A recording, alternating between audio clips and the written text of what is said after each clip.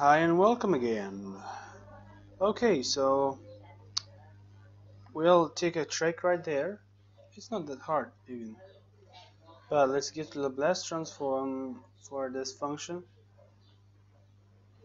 S over S minus 2 or shift 2 square plus 9. So in the previous examples we did we just remove the shift first and then we know that the function here is hold on. The function is here s square over s over s square plus 9 is cosine omega t cosine 3t and shifted by 2 but this is not just it because there is no shift there minus 2 okay?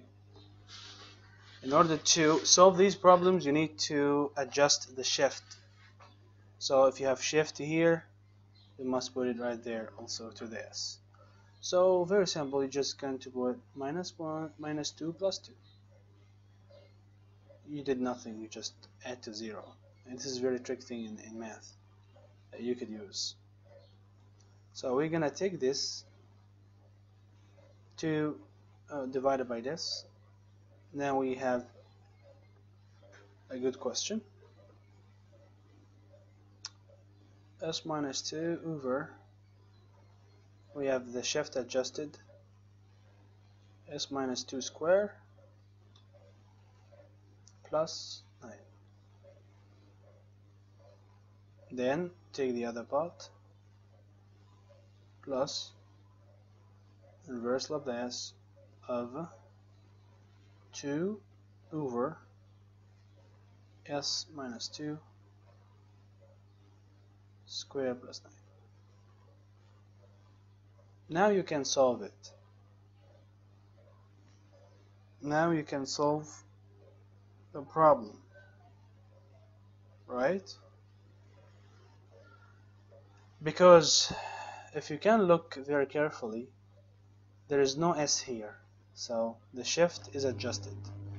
Here there is S, so the shift is adjusted by minus 2 like like this one. Now we can get Laplace inverse Laplace for this function. Remove the shift first. So we have s over s squared plus 9 this is the formula of cosine. So we have cosine omega t. Omega is here the square root of this number so omega is 3t then multiply by e to the exponential of the shift the shift here is minus 2 so put 2 here.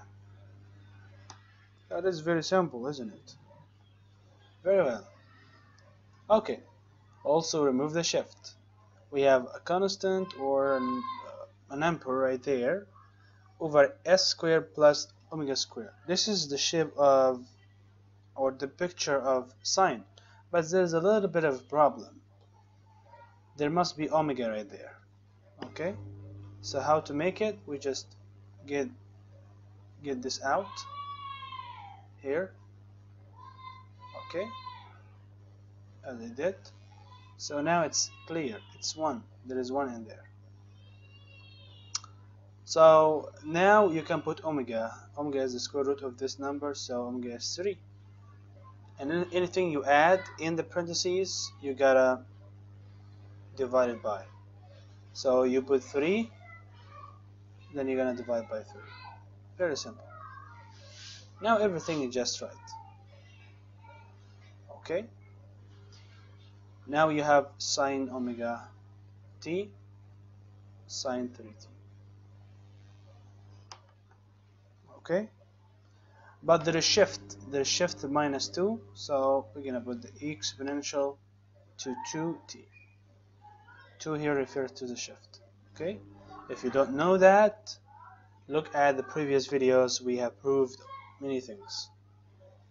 Okay so before watching Laplace inverse Laplace you need to watch Laplace transform itself. Okay very very well. Thank you for watching this video. In the next video we're going to talk about uh, how to use len um, with inverse Laplace see you. Thank you for watching